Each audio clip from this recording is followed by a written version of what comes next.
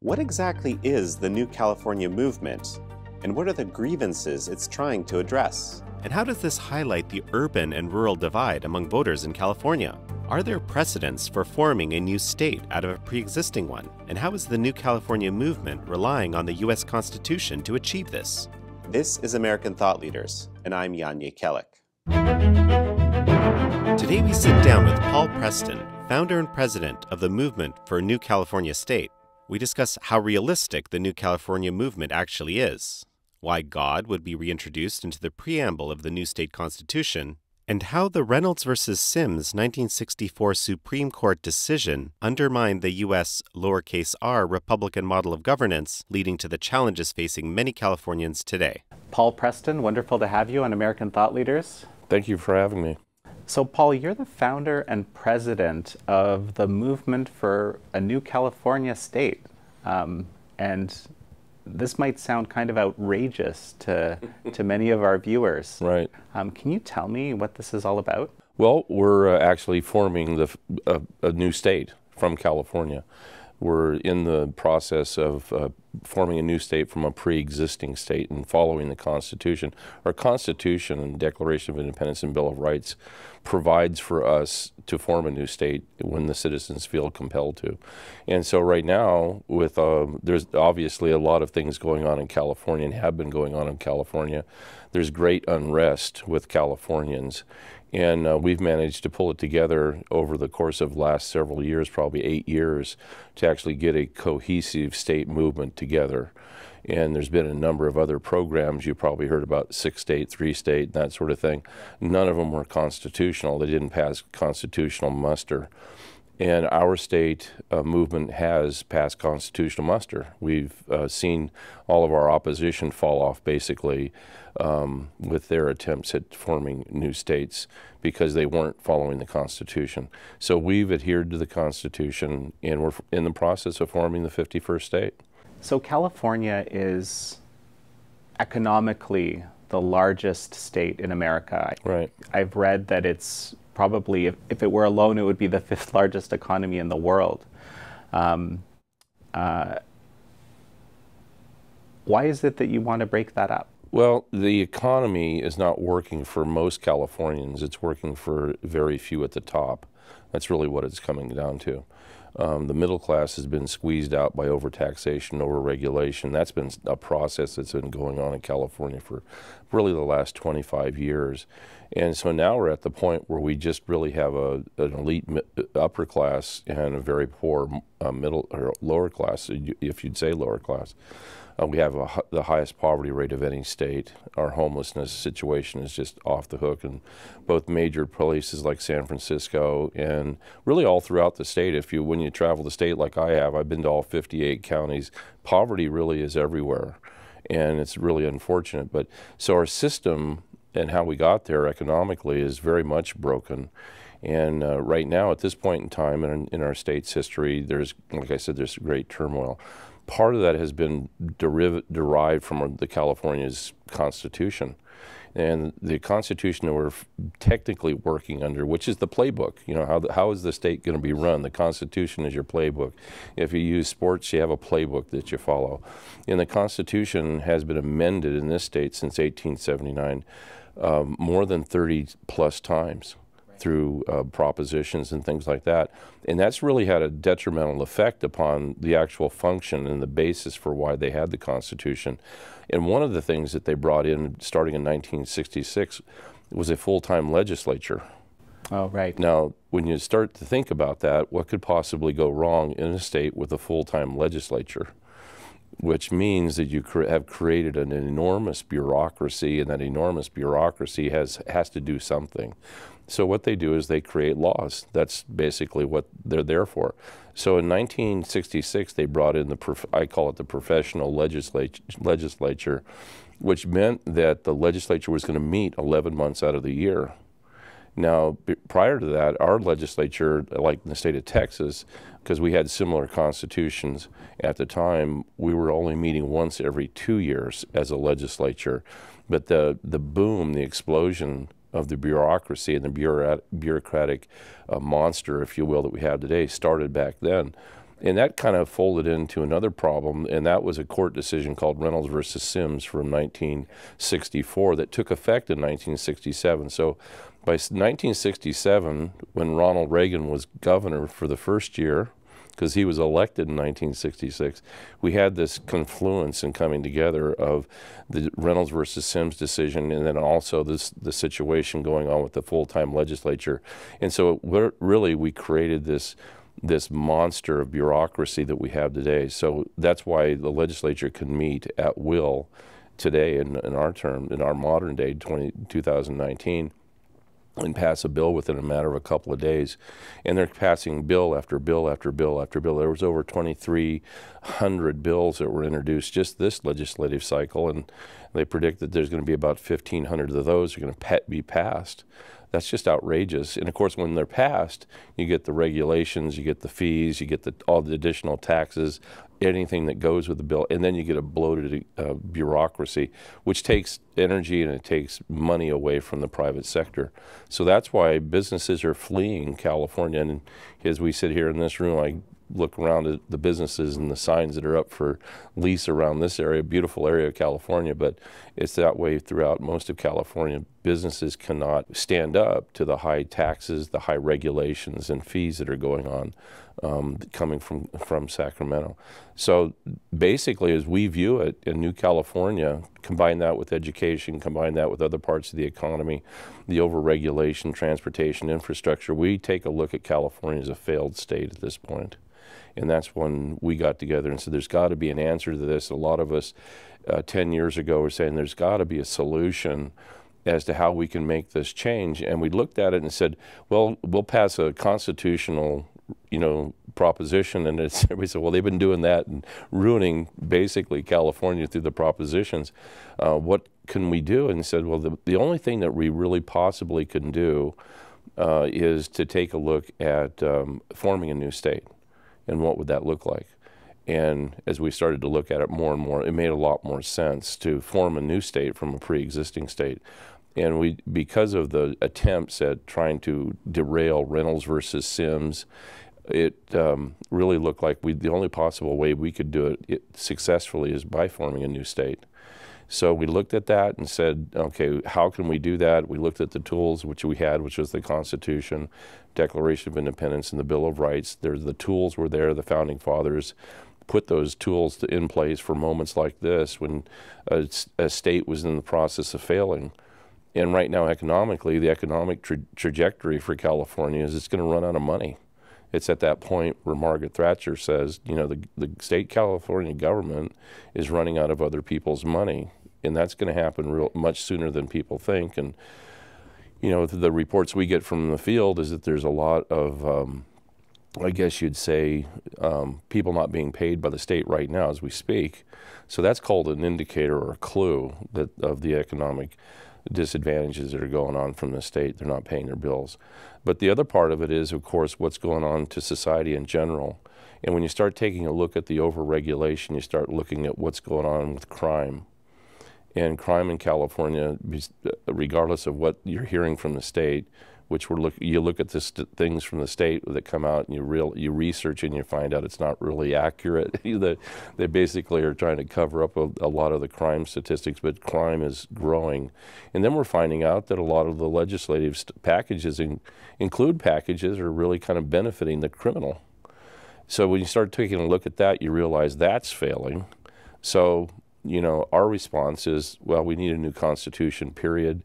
We think that um, a fresh look at a, a new state, uh, as the Constitutional provides, uh, is really the only option that we have left. When I was learning about the New California movement, the thing that really struck me was how it's this kind of a rural, interior versus coastal, urban divide. Right. If you can kind of unpackage that for me a little bit, yeah. that would be helpful. And, and, am I right? No, you're absolutely right, and that's the core of what we're doing. I mean, there's many core pieces of what we're doing, but this is actually the the heart and and soul really of what we're doing because in the problems that we have all throughout the nation is you're having a centralization of power that's taking place right within the states themselves. But in Reynolds versus Sims, they decided that counties uh, being represented under the, the little federal model by senators would be best served if they were representing people only. So, in other words, in rather than representing a county or the resources or the schools or the, you know, uh, ec- the economy or everything that has to do with a county and the sovereignty of a county, they looked at it as a population grab. So, in other words, senators should should you know have an equal number of people that they represent, and that way they can rule better. you know, that that was the thinking. And they didn't touch the federal model, which called for two senators per state, because they wanted the founders wanted states to have an equal balance of power when they got into the legislature as a bicameral.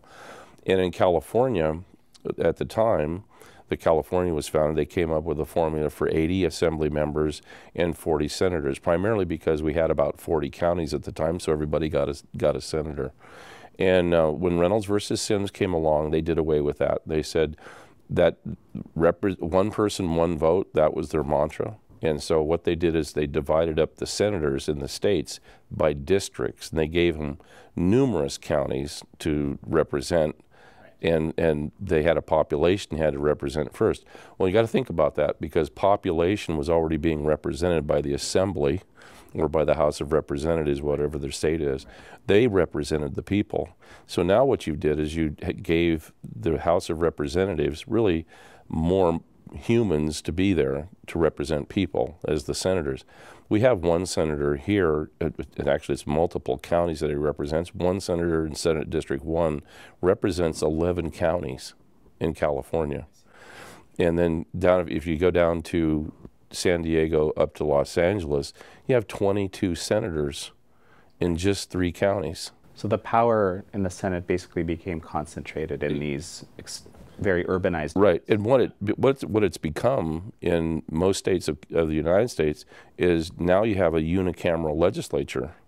You really don't have the, the, the differential, the differences in the power sharing that were in, in, inherent in a bicameral legislature that had equal power the, with the senators representing counties, which represented all the resource, all the commerce, all the things that go into counties.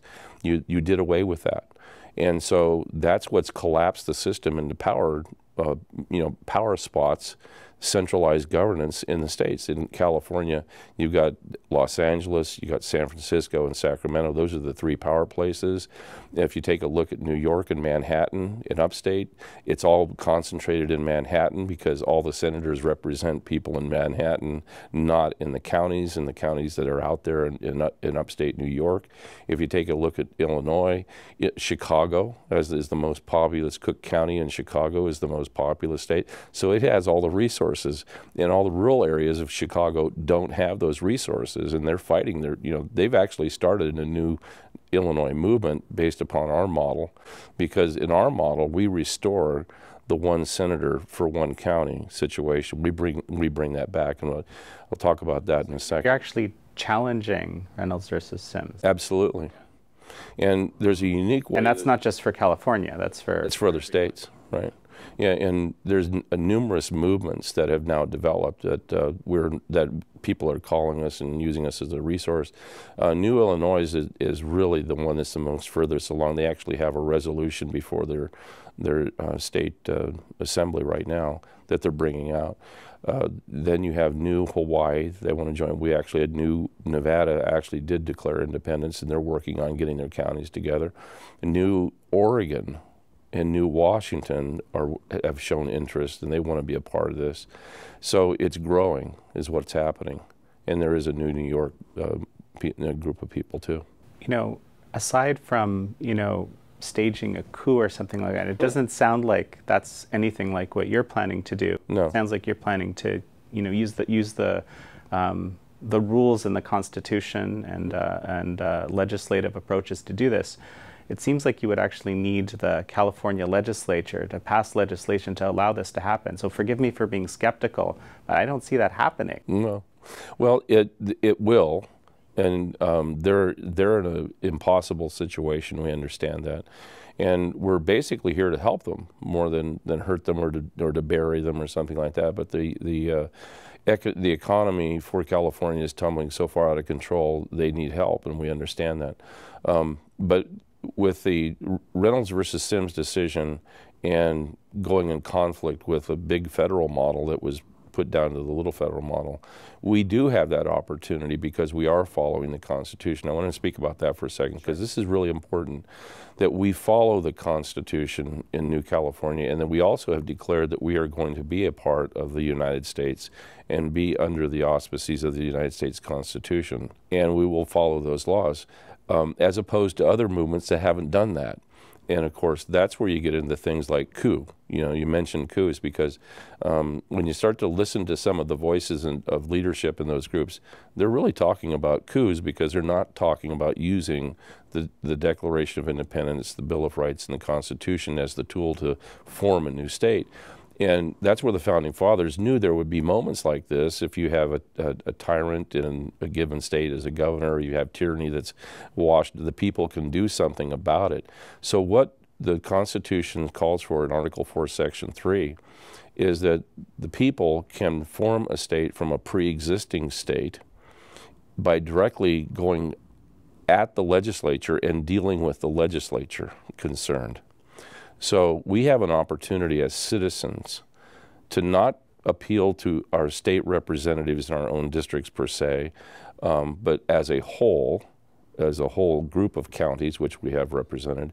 We are we don't work with the governor. The governor is irrelevant in the process, and the executive branch is irrelevant in the process, and the courts are ir- irrelevant in the process of getting approval, seeking approval of the state legislature. So that is our goal, is that we will be working with hands-on with the state legislature as citizens from the counties concerned and that's how we'll get approval. And it's a resolution that has to be passed in the Assembly and also in the Senate. And we think that the circumstances are coming together quite nicely right now for those events to take place. And they are they're taking place right now. We've we've already had some discussions with state legislators. We're not dealing with government agencies uh, or even at the county level because they're irrelevant in the process. We want to get their support ultimately and that's what we want is their support, but we're not going to go actively, actively after it. And the reason being is that they're part of the problem.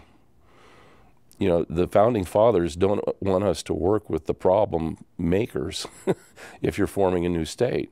You know, because they, you know, you want to be free from that, and your your opportunity to do so is to work directly with the legislators concerned. After that, we go to the Congress we'll get approval, and I'll explain that in a second. But then we, the next step, step of Article 4, Section 3 is that we seek approval from the Congress. And we've already started that process as well. We're, we're in contact with certain members of Congress at this point in time. And we are absolutely being overwhelmed with support. At, at this point, we're actually getting overwhelming support from the people that we're talking with. Um, and we're finding overwhelming support with the general public when we go out and meet with them uh, we're getting more and more proactive in that regard. But getting back to the point about the state legislature, we understand uh, the positions they're going to be in because there won't be the money that they thought that there was going to be. Um, and we're here basically not to just help ourselves out and improve our, you know, our lot as new Californians in the rural area because that's our focus. We're here to help them too. So we want to make it a win-win situation at the state separation. But the big thing that we're doing is that divide of rural versus urban. And that is the problem with Reynolds versus Sims. Because, you know, as I was talking about before, you had that situation with one senator representing 11 counties. There's no representation. We bring that all back. We return that. Because in our state formation process, we're following in the historical footsteps of three other states who did this before. It's only been tried three times. And the last time was with West Virginia at the time of the Civil War. And in the West Virginia situation, um, they followed the other models that they saw, and they got together with their own people in their own counties. Counties did the work. Um, in the, the committees in the counties did all the all the work with the legislature. They were the ones meeting with the legislatures. But in the case of West Virginia, it was a very unique case.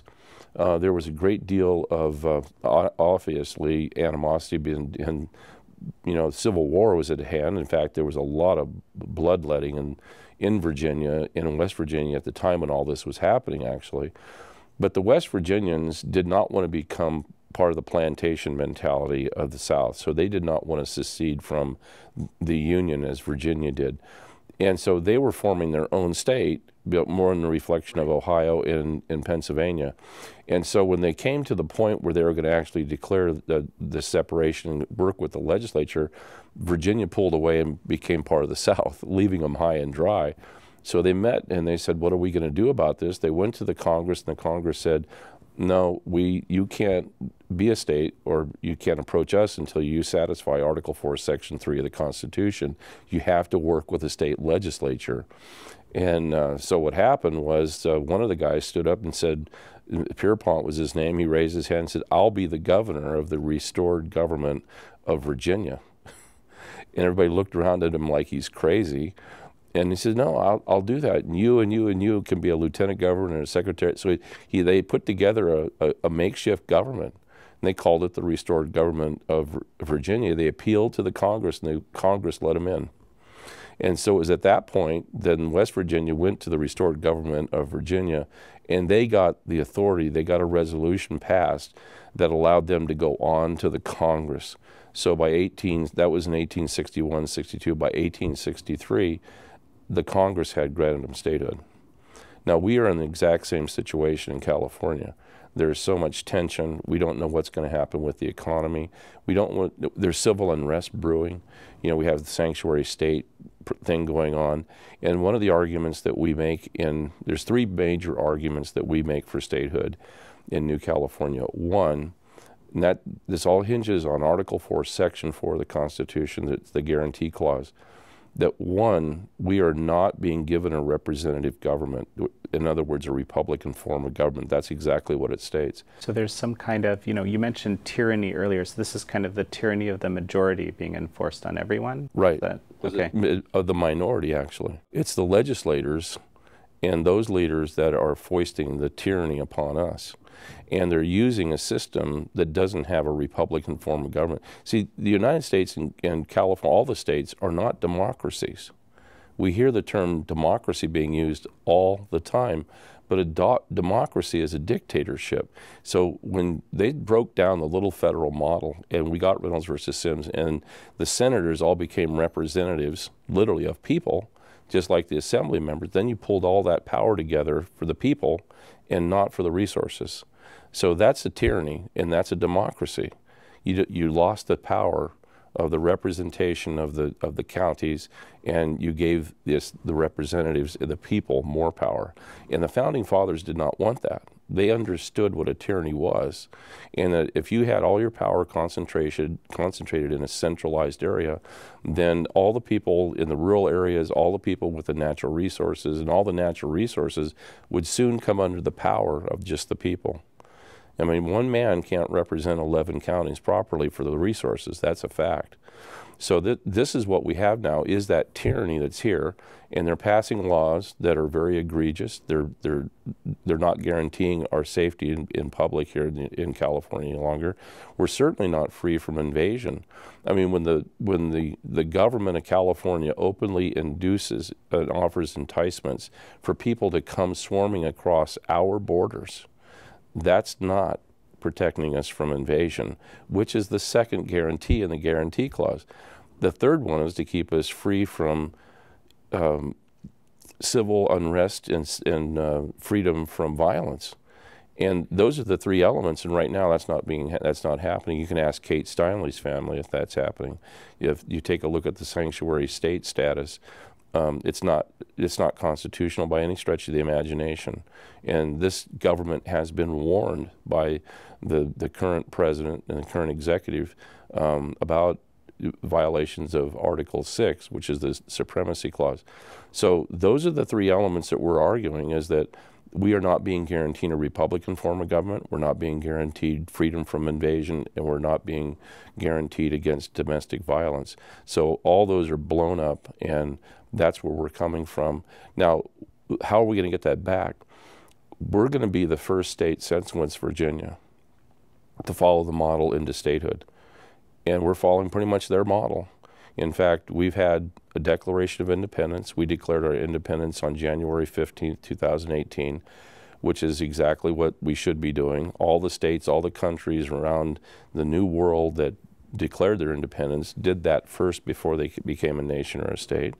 And then the other part of it is um, we are in the process of not only following that model, we know we're going to get there because, and this is the hook for Reynolds versus Sims. The last state to come into this union by territory was Hawaii. That was 1959, predating Reynolds versus Sims. We are coming in post dating Reynolds versus Sims, and what we have done already is we, as, to set up our own government, we have asked our county chairman to assign, to select and elect a senator for each county. So we've already dele- we've already got our senators in place, and we've got two assembly members as a startup for a government, and we're going to challenge Reynolds versus Sims because we believe that we have a 10th Amendment right which supersedes that decision to have representation the way we deem it to be effective for our state. It's very interesting. So, the, the big question in my mind at this point is how can you be sure that what you're doing is actually representing the will of the Californians that are living in all these rural counties that we're, are looking to, to form this new state? Well, and that's really um, that's a timing issue. Actually, I think five years ago people would be scoffing and laughing at this and of course, I was with other organizations at the time because we had this vision. We could see that forming a state and setting up new borders and joining the union, becoming a, an additional state in the union of 50, now becoming 51, would strengthen the whole unity of these 50 other states and our own. And in a time of the globalists, and the globalists want to dissolve boundaries, especially California borders, it's pretty well known.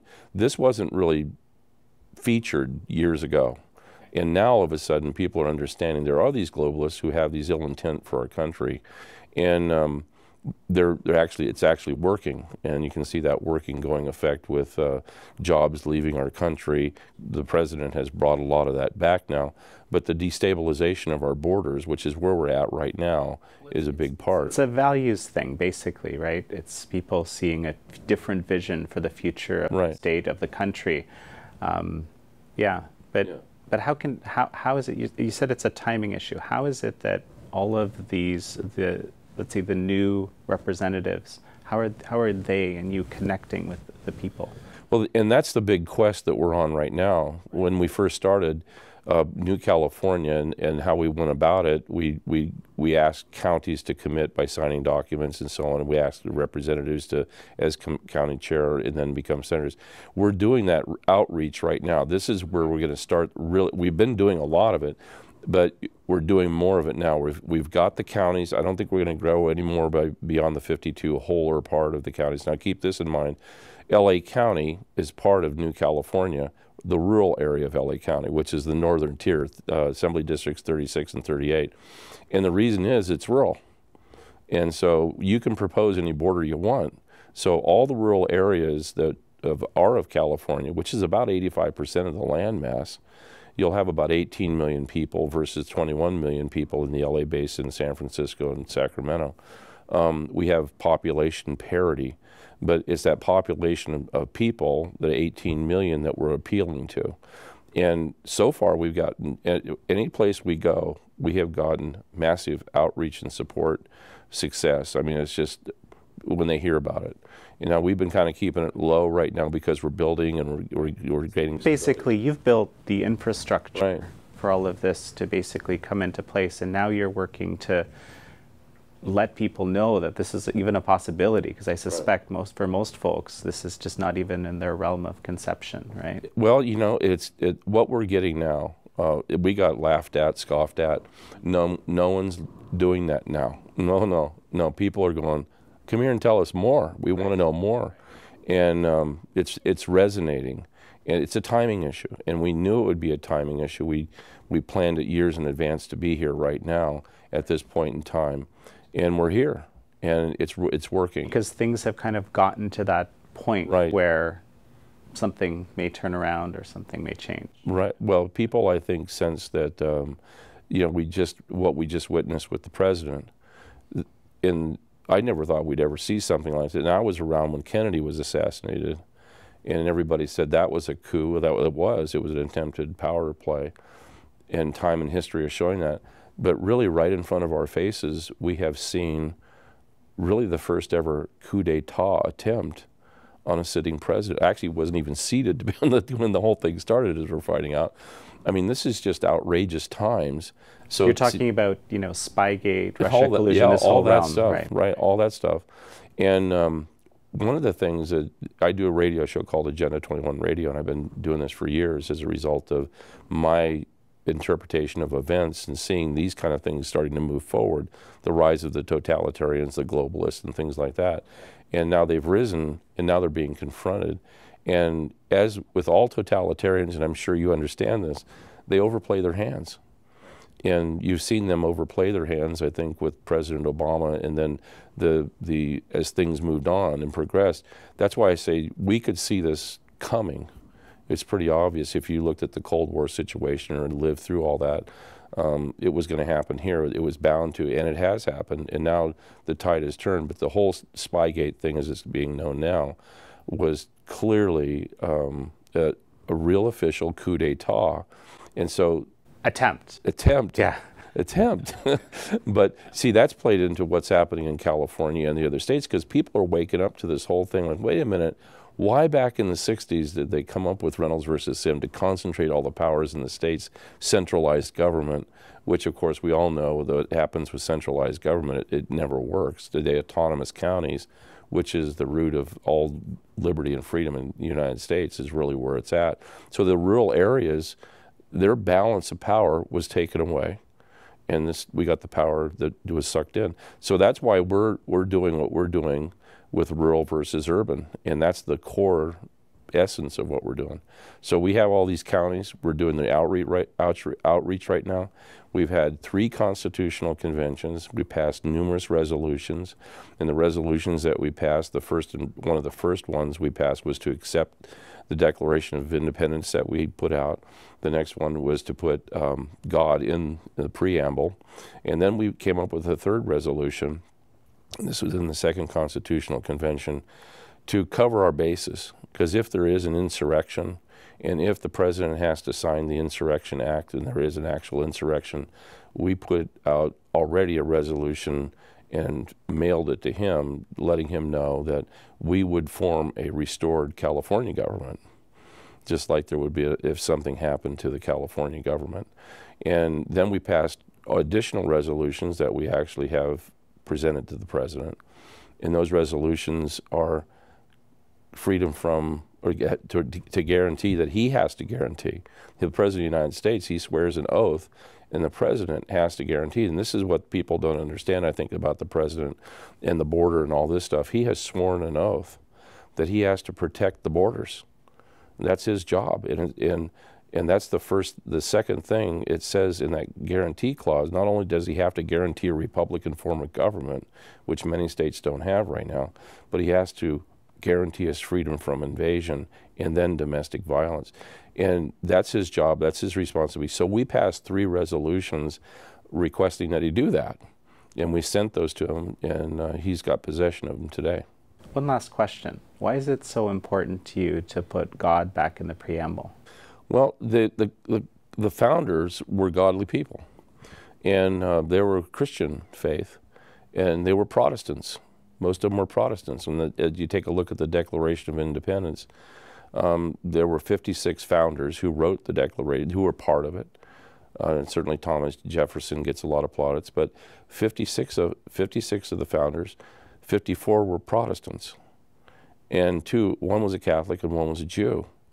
And when we did that, we thought, wait a minute, you know, a lot of people don't understand that through every constitution in every one of the 50 states, they mention God in the very first part of their Constitution, in the preamble. So we're doing the same thing. We're being consistent. Um, we want to follow in the footsteps of the other founders of all the other states and also our founding fathers because we look at the world that they created with their faith and look at the United States of America, what it's been. And it's all been attacked.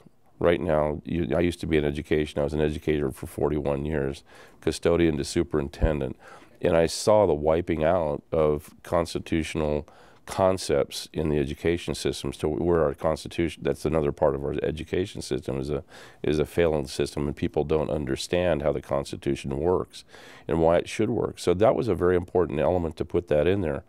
Um, the other resolutions of course passed without any problem but the god uh, um, mention it was a very very important one for all of us because I think we need to go back to that um, and we need to go back to our roots and our heritage as a, as a nation because it, it's worked very, very well. It's the only model for freedom and liberty that's out there, and we have to keep it healthy. And to keep it healthy means that we're going to grow a new state and add to the states that are already in this union of 50. We'll be the 51st state, New California. Paul Preston, I'm very excited to learn what comes next with your movement. Thank you for having me.